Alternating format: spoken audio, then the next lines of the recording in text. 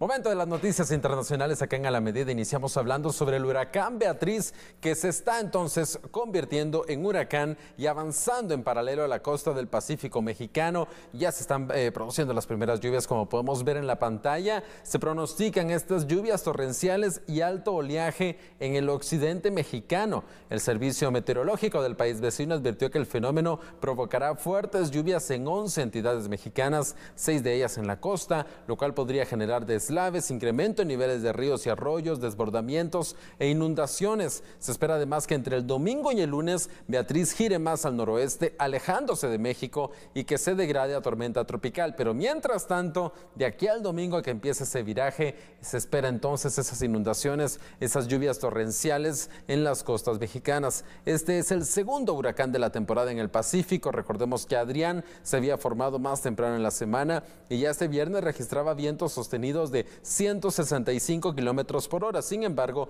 el huracán Adrián no ha causado mayores problemas porque se encuentra muy alejado de la costa mexicana, muy alejado, está cerca de Baja California, pero alejado lo suficiente como para no estar causando eh, problemas de lluvias o de inundaciones en México. Según el Servicio Meteorológico Mexicano, durante la temporada 2022, las costas mexicanas fueron impactadas por seis huracanes y otros tres fenómenos que causaron intensas precipitaciones. Sin embargo, este año ya estamos viendo cómo apenas está iniciando la temporada de huracanes y ya van dos que están llegando cercano a las costas mexicanas.